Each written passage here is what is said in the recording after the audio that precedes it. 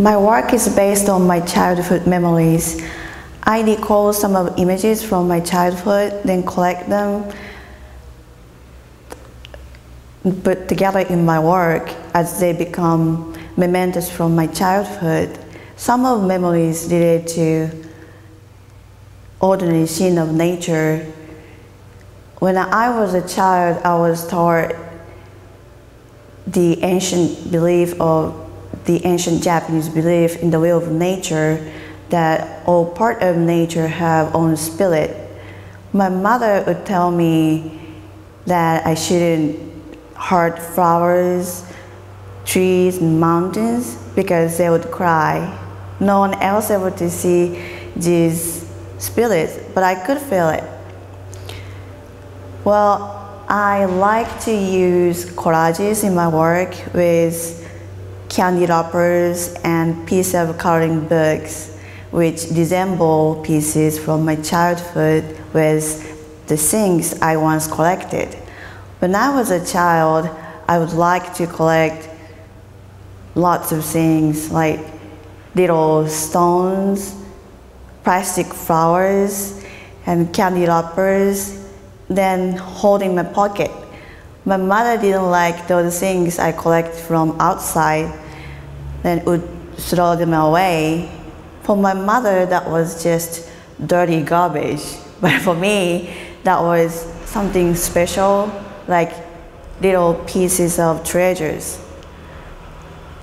Besides of that, I was collecting other things and tried to keep two things in my bedside drawer.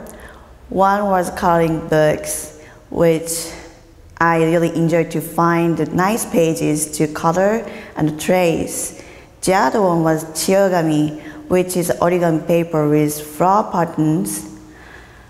I collected chiyogami carefully, making sure I didn't run out each of patterns. And I did a good job. When I grown up, I've got quite amount of chiyogami collections, but I also realized I didn't need it anymore.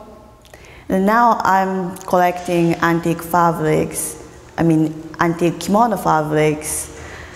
At first, I didn't know why those old fabrics so attracted me, but now I can see the connection between these collectings.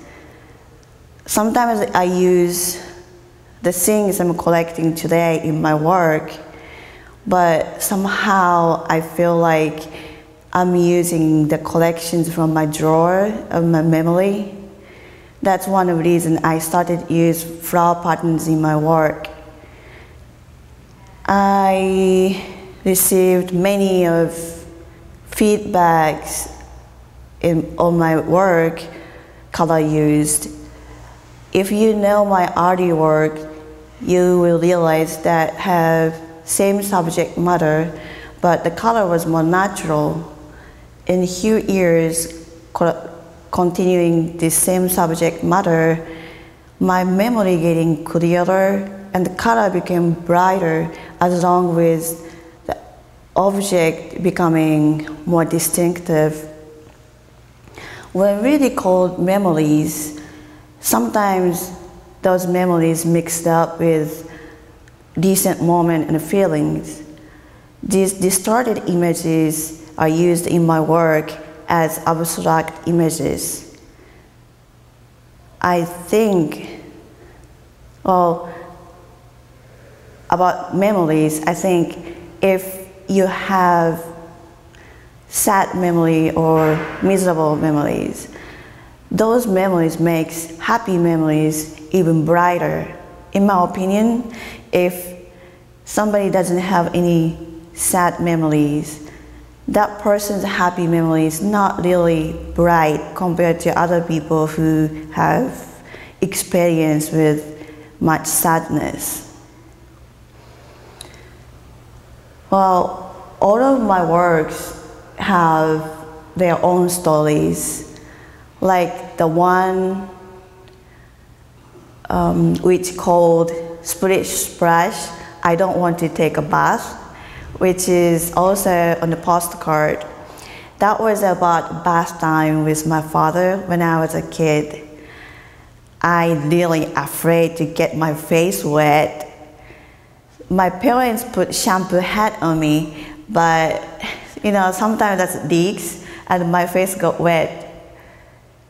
So my dad, my father needed to hold me upside down to wash my hair.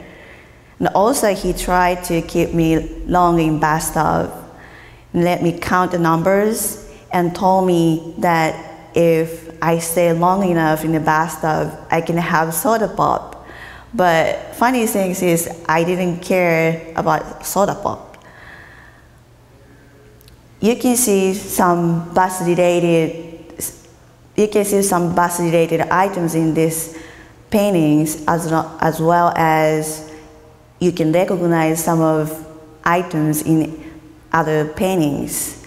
I hope my work encourage, encourage happy memories of your own to be triggered. Thank you.